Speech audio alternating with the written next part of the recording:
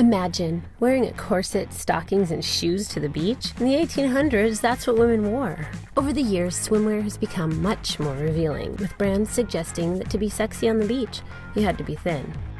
But at Swimsuits for All, we believe that all women can be sexy at every curve. I think it's sad that the representatives of women in mainstream culture are usually so small. Just because we have such a diversity of sizes in real in the real world what happens is that i think so many women see those girls and they think they have to look like them. And i know that plus size models and bloggers like myself are really helping change that. Uh, young girls grow up looking at magazines teeny tiny skinny girls and saying oh i should look like this.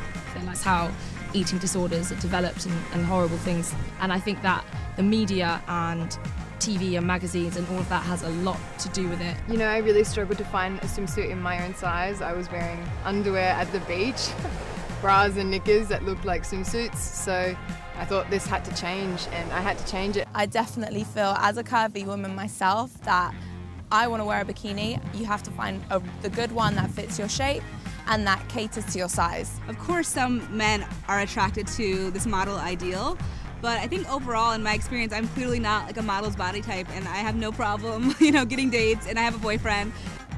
I feel sexy in a swimsuit when it's fitting me correctly and it's beautiful to look at. You know, it's got nice colours, it's fashion forward. I think there needs to be more publications and campaigns and so that people can look at these things and think, wow, I look like these women and they feel confident and sexy and they're portraying my body shape.